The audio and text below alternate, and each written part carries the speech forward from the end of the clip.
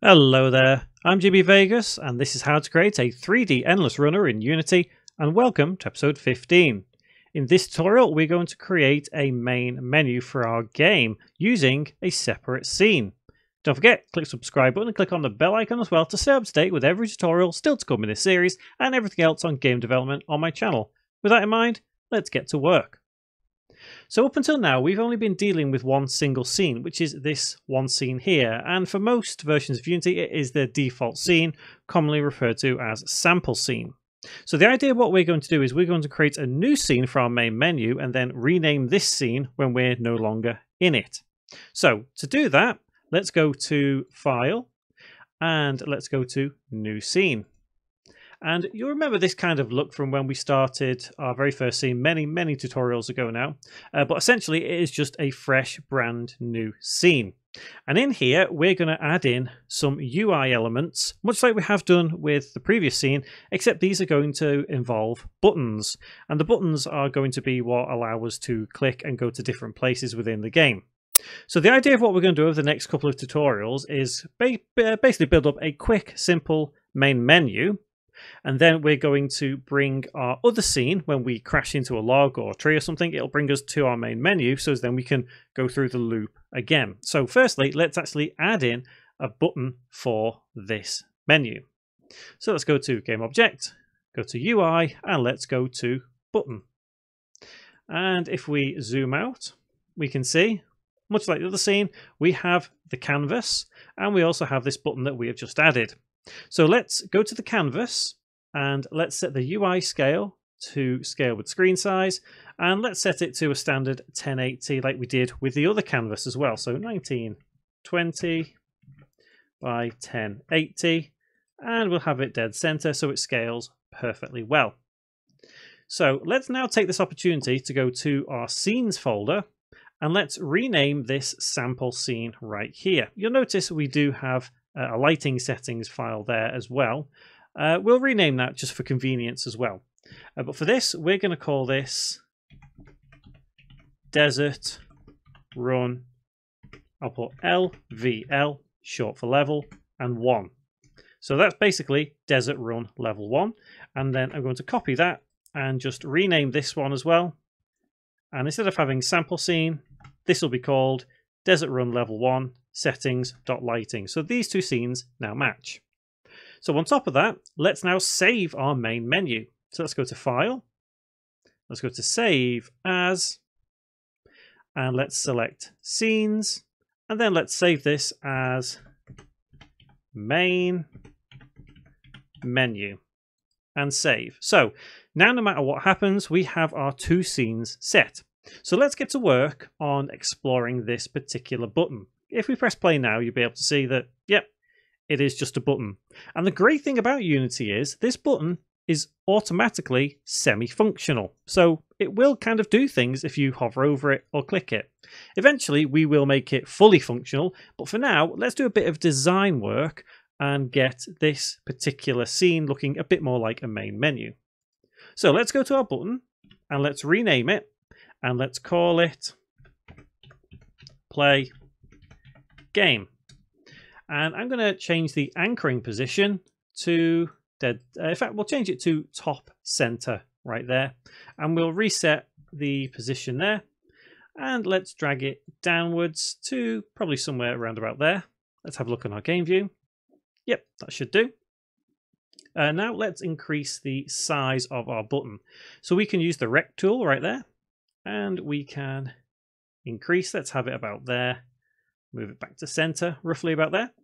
So next, let's customize this a little bit more because it's not exactly very good right now.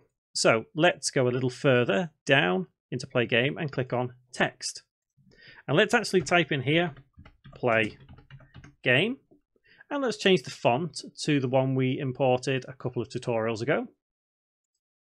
And let's change the font size to something much bigger so we can see it a little better.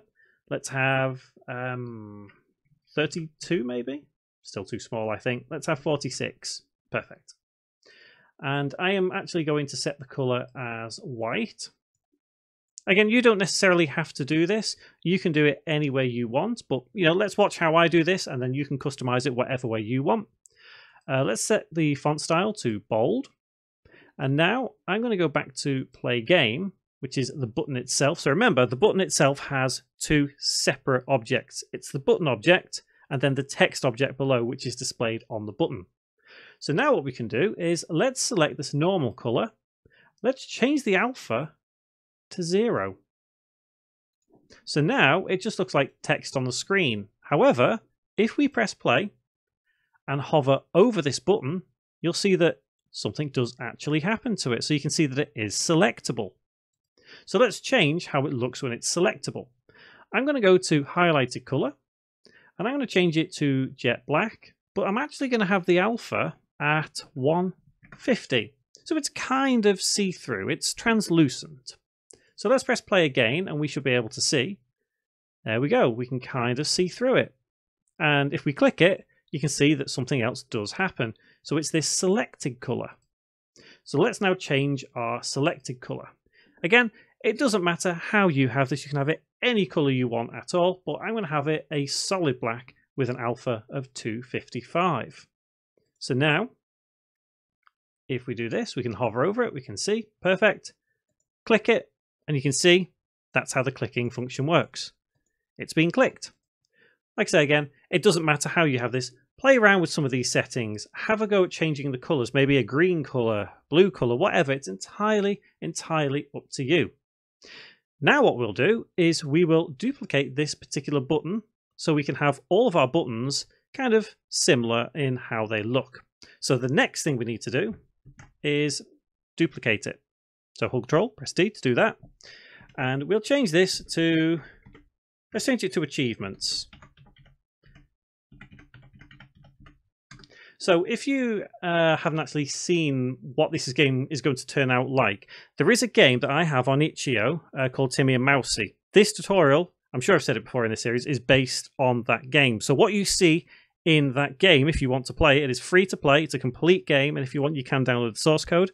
Uh, but this is what we're building here. So we do have achievements in that game. So we are going to build them in this tutorial series as well at some point. So now let's go to that achievements button, go to text, and let's change that to achievements. Next, hold control, press D. Let's bring that down again. And let's have this button as um, store. Because there is a store in Timmy Mouse. Obviously, there's no uh, real money used in that. It's kind of in-game currency. Uh, so store, and then let's go to text and change the text to store. Uh, let's have another button. We'll have this as, let's have this as credits, shall we? So credits. And we'll change the text once again. Uh, hopefully by now you don't need me to kind of keep going on about what we do here. One thing I will do is I'm going to select those four buttons and just bring them upwards a little bit so as I can see them a bit better. Uh, last one, uh, I'll have this as quit game. Quit game. And to the text, I'll just have it saying quit game. And let's bring that button down to there. So now you can see that's how our menu looks. So if we press play, and you should be able to see that we can select all the different buttons. Obviously, the clicking function, yep, we can click the buttons, but they don't do anything because we haven't coded what to do with them. We will be getting around to that at some point. Uh, but for now, we do have our simple menu set up and ready. So what I would also like to do is have a little bar at the bottom as well, which is kind of like a hint bar. So once again, referring back to that Timmy and Mousy game, there is a hint bar in that game. Uh, so let's build that in now. So to do that, let's go to Game Object, let's go to UI, and let's go to Raw Image. I'm going to set the color as completely black and set the alpha as 150. Um, the anchoring I'm going to have is stretched all the way across the bottom of the screen. So we're going to have this option. And let's bring it down here and let's use our rect tool again to stretch it all the way across like so. So if we go to our game view, we can see there's our little hint bar. Might be a bit too thick, but there we go. That should do the trick for now. Um, what I will do as well, now I think about it, is I kind of want to align everything just a little better because I want to have the title of the game at the top as well. Uh, obviously, you can use uh, an image if you want to. You can use text. It is entirely, entirely up to you.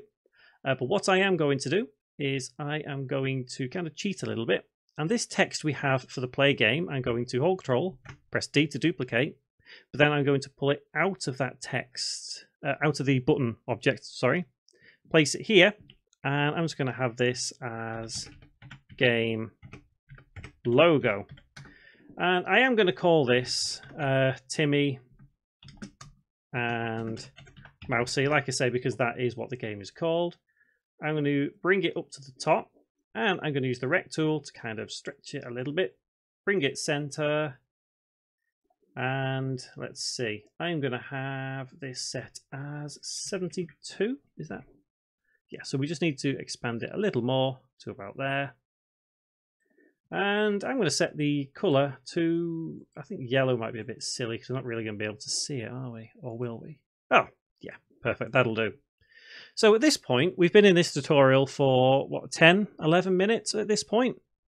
And we've built a quick and simple main menu. I mean, it's nothing too fancy at all, but game development is all about building something and then building upon that idea. So we've built the idea of our main menu here. Still loads more to do to it, like a background, an animated background that's dynamic. You know, that's what I want to get to uh, in the next tutorial. Uh, but for now, we have everything kind of working really nicely here, and I quite like how it's looking so far. It's up to you how you want to customize it by all means.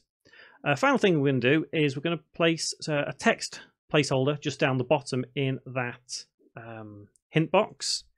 And also I am going to rename that hint box as well. So hint box. And I'm going to take game logo, hold control, press D to duplicate. And what I will do as well is game logo. Let's make sure that the settings are correct. So they need to be stretched along the top for that. But again, it's your game. You customize it how you want to. Uh, so game logo, let's have this changed to hint text and bring it down to the bottom. Let's reformat this as a white color. Let's set this to uh, 38 size. And let's have this anchored as stretch all the way across the bottom. So this one here basically we we use the anchoring just so as it doesn't uh, look a bit strange when everything's uh, you know the screens change size and whatever else. Uh, for example, if we move this out and change this to full screen now, everything still looks as it should do. That's the reason why we do use the anchoring the way we do. Uh, and let's also have this hint text start here. And I think I might have it start about there. Cool. And one final thing, I'm going to have this, um, in fact, we'll have it not bold, so we'll have it normal. And we'll have this say, this is the hint text place holder. Cool. So, a quick, simple main menu that will become functional very, very soon. Uh, but I am going to save that scene now. So make sure you do save that scene before we move on to the next tutorial.